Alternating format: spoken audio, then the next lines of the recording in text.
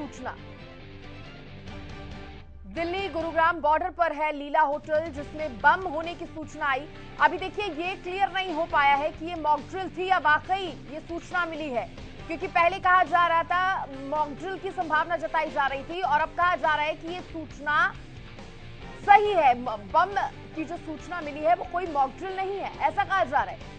और इससे अब जो कर्मचारी हैं, उनमें भी हड़कंप मच गया है। लीला होटल में ये बम की सूचना मिली है। बड़ी खबर इस वक्त की आपको बता रहे हैं। दिल्ली गुरुग्राम बॉर्डर पर है लीला होटल, जहाँ पर बम की सूचना मिलने से हड़कंप मच गया है। होटल के लैंडलाइन ऑपरेटर के पास बम होने की सूचना थी। होटल का जो लैंडलाइन ऑपरेटर है, बताया जा रहा है कि उसके पास बम होने की सूचना थी। बड़ी खबर इस वक्त की हम आपको बता रहे हैं। बहुत बड़ी खबर इस वक्त की। बम की सूचना से हड़कंप मच गया है। दलीला में, लीला होटल में बम की सूचना मिली है। और बताया जा रहा है जो होटल का ही एक स्टाफ है लैंडलाइन ऑपरेटर जो है, उसके पास बम होने की सूचना है। ज़्यादा जानकारी देने के लिए मेरे सहयोगी संजय राठौर मेरे साथ जुड़ गए हैं। संजय, आपने कहा था पहले कि ये मॉकड्रिल हो सकती है। मॉकड्रिल इसे कहा जा रहा था, लेकिन अब कहा जा रहा है मॉकड्रिल नहीं है। अभी फ़िलहाल क्या सामने आ रहे हैं, सामने आ रहा है, निकलकर।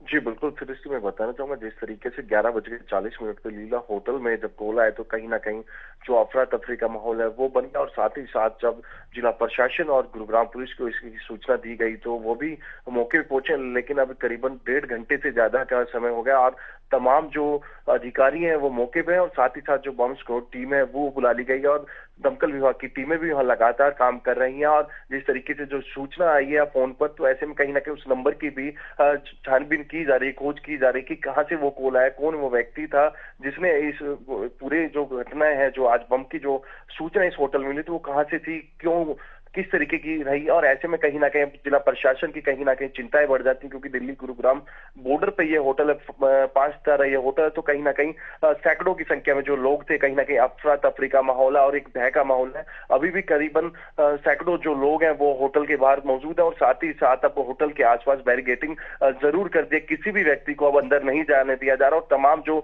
मॉल है, उसको खाली कर दिया गया क्योंकि इस तरीके के जब सूचना मिलती है तो कहीं ना कहीं जिला प्रशासन और गुरुग्राम पुलिस की कहीं ना कहीं जो चिंताएँ हैं, वो बढ़ जाती हैं क्योंकि जिस तरीके से गुरुग्राम में आए दिन जो हम बात करें क्राइम का ग्राफ बढ़ रहा है और उसी बीच अब एक बम की सूचना मिलती है तो कहीं ना कहीं एक बड़ी खबर हो जाती है। तो ऐसे में कहीं ना कहीं तमाम जो आला अधिकारी है मौके पे और जो बम स्क्वाड की जो टीम है, वो कहीं ना कहीं वो कार्य में जुटी है। जी। अभी कैसे संजय हालात बने हुए हैं? सभी कर्मचारियों को क्या होटल से निकालकर कहीं शिफ्ट किया गया है? कैसे हालात अभी बने हैं?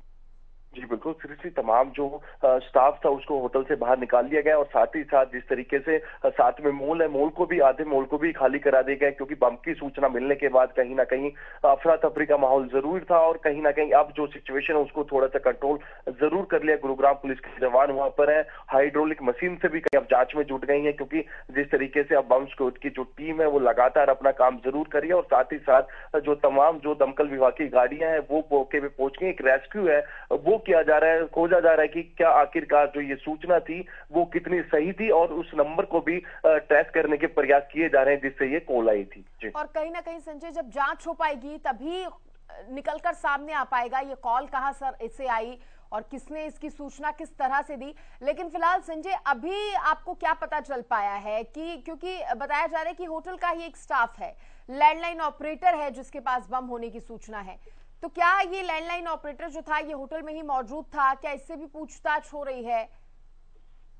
जी, बिल्कुल, जिस तरीके से सूचना आने के बाद जब गुरुग्राम पुलिस मौके पहुँची तो जो ऑपरेटर है उससे पूछताछ तो की जा रही है। साथ ही साथ जो होटल मैनेजमेंट के जो अधिकारी हैं उनसे भी पूछताछ की जा रही है कि आखिरकार ये कॉल कहाँ से आई, कौन व्यक्ति था, तमाम पहलू पे जाँच कर रहे हैं। और सबसे बड़ी चीज़ है कि आखिरकार उसके पास कॉल आया तो आया कहाँ से? दूसरी बड़ी बात कि अब उस नंबर की जाँच की जा रही है, कहाँ से वो कॉल किया और किस व्यक्ति ने कॉल कर सूचना दी। ठीक है, अब नंबर्स की भी जाँच हो रही है। पता चलेगा कि आखिर ये कॉल आया कहाँ से था। और संजय अभी आप बता रहे हैं कि अब जाँच अब जाकर शुरू हुई है। आपने कहा कि बम निरोधक दस्ता है जो वो भी पहुँचा हुआ है। ये जानकारी मिलने के बाद और कौन कौन मौके पर पहुँचा हुआ है। साथ ही अगर स्टाफ की सुरक्षा के लिहाज से बात की जाए तो स्टाफ की सुरक्षा किस तरह से दिखाई दे रही है?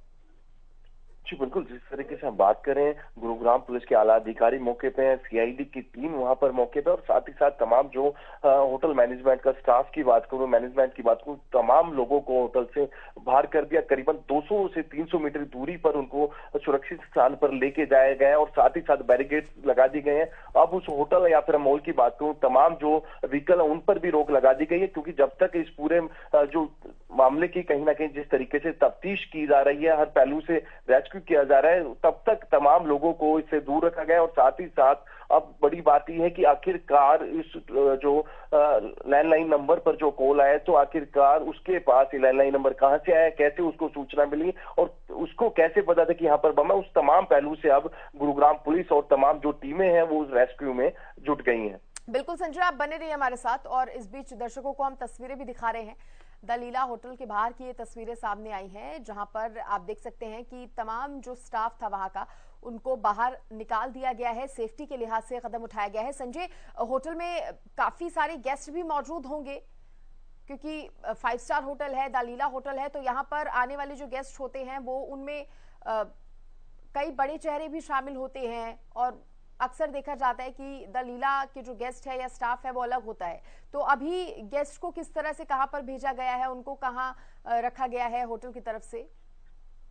जी, बिल्कुल तमाम जो उस गेस्ट थे, उनको सुरक्षित स्थान पे दूसरे होटल में कहीं ना कहीं उनको शिफ्ट ज़रूर कर दिया। लेकिन जिस, जब ये पूरा अफरा तफरी का पूरा मामला था तो कहीं ना कहीं कुछ लोग हैं भगदड़ में, उनको चोटें भी आई हैं, क्योंकि जिस तरीके से लगातार सूचना मिलती है और उसके बाद पूरी मैनेजमेंट उस होटल को खाली कराने में जुड़ जाती है तो ऐसे में कहीं ना कहीं लोगों के लिए काफ़ी परेशानी ज़रूर हुई। लेकिन अभी यही है कि तमाम जो टीमें हैं, वो रेस्क्यू में जुटी हुई है। रेस्क्यू के बाद पता लगेगा आखिरकार ये सूचना किसने दी और क्यों दी?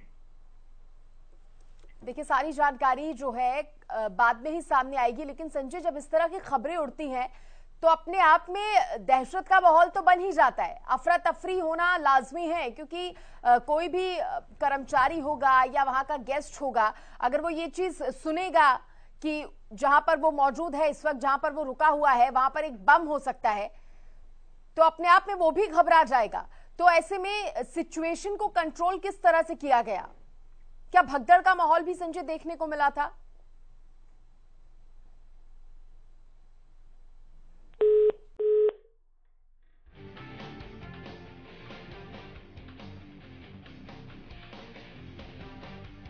तो देखिए होटल को खाली कराया गया है अब। दालीला होटल से यह खबर सामने आई, जहाँ पर फाइव स्टार होटल में बम की सूचना मिली। और ये सूचना मिलने के बाद हड़कंप मच गया। हालाँकि अभी जाँच हो रही है। जाँच के बाद ही चीज़ें जो है वो साफ़ हो पाएँगी कि किसकी तरफ़ से ये फ़ोन कॉल किया गया। और कहाँ से ये जानकारी मिली कि होटल में बम हो सकता है?